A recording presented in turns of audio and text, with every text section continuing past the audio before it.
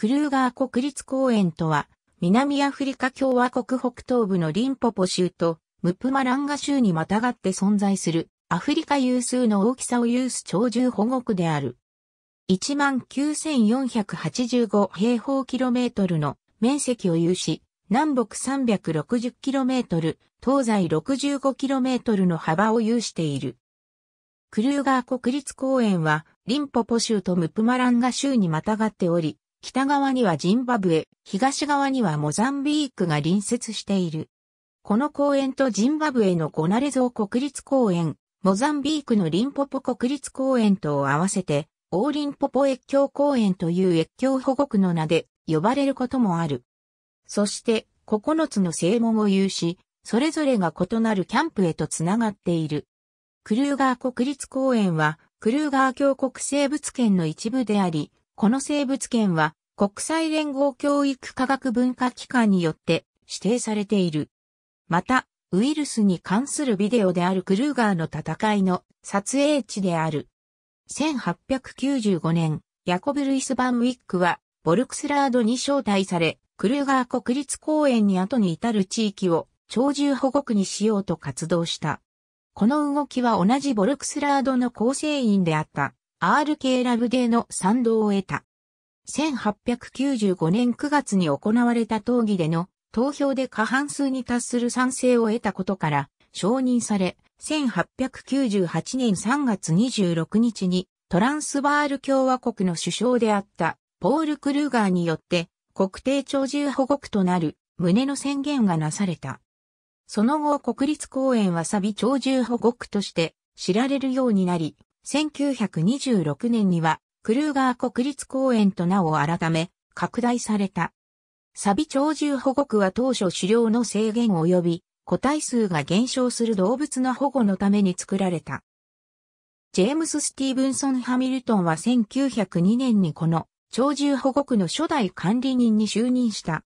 当時の広さは現在の1、3ほどで、現在の南側の領域を占めていた。また、新ウェジ川から名を取った新ウェジ保護区は現在クルーガー国立公園に含まれているが、1903年に保護区に設定されている。1926年にはサビ鳥獣保護区が隣接する新ウェジ保護区と合併し、クルーガー国立公園となった。1923年にわさび鳥獣保護区に初めて旅行客の大団体が訪れたが、これは南アフリカ鉄道の9日、周遊ツアーの一部でしかなかった。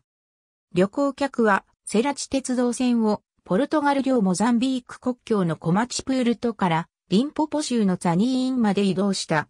このツアーではサビ橋において一晩泊まり、散歩をし、武装したレンジャーの先導のもと、藪の中に入っていった。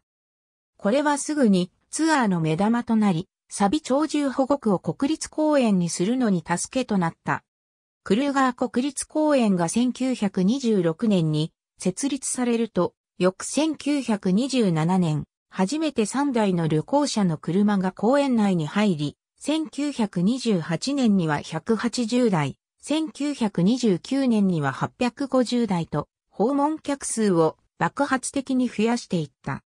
管理人のジェームス・スティーブンソン・ハミルトンは1946年4月30日に44年の監視の仕事を終えて退職した。公園内の飾り板。人が殺されるのは現在では非常に稀である。管理人はハミルトンから南アフリカ空軍の JAB サンデンバーグ大佐に変わった。1959年、公園の境界にフェンスを作る工事が始まった。工事は、クロコダイル川に沿った南側の境界から始まり、1960年に西側及び北側の工事も完了し、続いて、モザンビークに隣接する東側の境界の工事を行った。この目的としては病気の蔓延を抑制することや、境界の監視を楽にすること、密漁者の動きを妨げること等があった。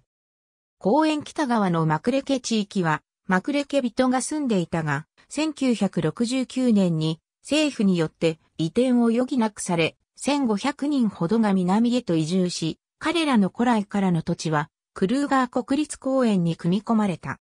1996年、マクレ家族は、クルーガー国立公園内北側の19,842ヘクタールに対する地形を認めさせた。この土地は彼らに返却されたが、しかしながら彼らはそこに再移住するのではなく、観光に対する個人的な投資という形でのキャンプ建設をした。2002年には、クルーガー国立公園には、ジンバブエのゴナレゾー国立公園とモザンビークのリンポポ国立公園とともに、大リンポポ越境公園となった。クルーガー国立公園のチーリオリファンツ川この公園は、南アフリカ北東部に位置し、リンポポ州の東側とムプマランガ州にまたがっている。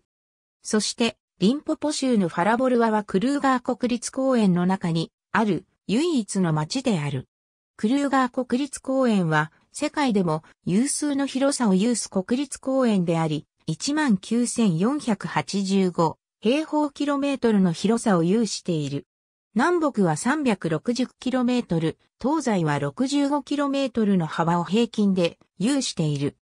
東西で最大幅を有する地点では 90km ある。北から南へは、リンポポ川とクロコダイル川の二つの川が流れており、自然の境界となっている。東には、レボンボ山脈がモザンビークとの間を隔てている。西側の境界は、東側から 65km の距離に、東側の境界から平行に引かれている。この公園の標高は200メートルから840メートルまであり、最高地点は南東部のバーグエンダル付近にあり、ハンダライブと呼ばれている。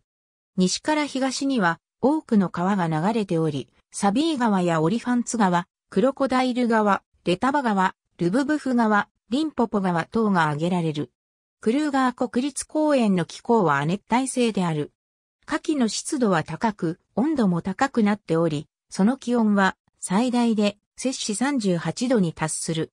雨季は9月から5月までであり、寒気が訪問するに理想的である。涼しい日にはマラリアに関する契約に多少の費用を要する。クルーガー国立公園の動物由来音道を横切る増標公園内の植物は4つの領域に分かれて存在している。赤やぶ柳の草原この地域は西側の境界から大体公園の中心部のオリファンツ川の南に展開している。赤い柳はシクンシカの植物やアカシア等の種が優勢であり、現在ではウルシカの植物も生えている。アカシアは川沿いに生えており、サビー川周辺では非常に密度の高い藪を形成している。漆の草原オリファンツ川の南側で公園の東側の地域では牧草が生えている。赤い芝やバッファロー芝が優勢であり、アカシアやリードウッド、漆の一種等の木が生えている。赤やブルーとジャケツイバラこの地域は公園の西半分に存在でオリファンツ川の北側にあり、赤やブリューとジャケツイバラ科の植物の2種が優勢である。ジャケツイバラ干木草原ジャケツイバラの干木は公園北東部の大半を占めている。ここには多くの小さな地域があり、銀色の棒状の葉をつける植物が優勢する場所もある。プンダ、マリア付近の砂混じりの草原では、両者が同等程度の比率で存在し、場所によって種類は異なる。クルーガー国立公園では517種の鳥類が確認されており、253種は生息、117種はこの中で繁殖しているわけではなく、147種は渡り鳥である。クルーガー国立公園では巨大5種がすべて見られ、合計では147種が確認されている。また、彼らの生態を確認するためにウェブカメラが設置されている。この公園は1994年以降象の間引きを禁止し、移住を試みているが、2004年の象の個体数は11,670頭にまでなり、2006年には13,500頭、2009年には11,672頭となっているが、8,000頭ほどしか養えないのでないかと推定されている。また、公園側は1995年以降年1回、像の否認を行っているが、実行する上での問題が発生したために現在では中止されている。クルーガー国立公園では南アフリカ全体で400頭ほどしかいないのではないかと言われるほどの絶滅危惧種であるリカオンの保護を支援している。また、公園内には48トンを超える象牙が存在している。絶滅の恐れのある野生動植物の種の国際取引に関する条約によるとこのうち売ることができるのは30トンである。条約の下に47メートルトンの象牙がこの公園から2008年11月6日に販売された。この収益は約6700万米ドルであり、収益は増え続ける密漁対策に用いられる。販売されたうちの63個の平均価格は、キログラムあたり142米ドルであった。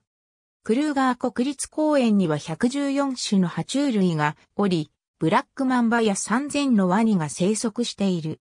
33種の両生類が公園内で見つかっており、50種類の魚が生息している。ザンベジ川のサメとも呼ばれるオオメジロウザメは1950年7月に公園内で捕まっている。このオオメジロザメは淡水にも耐えるので、リンポポ川等の川を登ってくる。クルーガー国立公園には21の休憩所があり、うち2つは私的なロッジ、15が指定されたサファリのロッジである。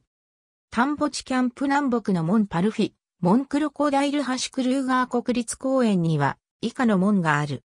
公園内の標識9つの異なる原住民族がクルーガー国立公園内には住んでいる。中には夜通し何日も人目に触れない種族もある。彼らは接触せず、訪問者が付近の動物が作った道を歩いてきた時は新しい道を藪の中に作るからである。ありがとうございます。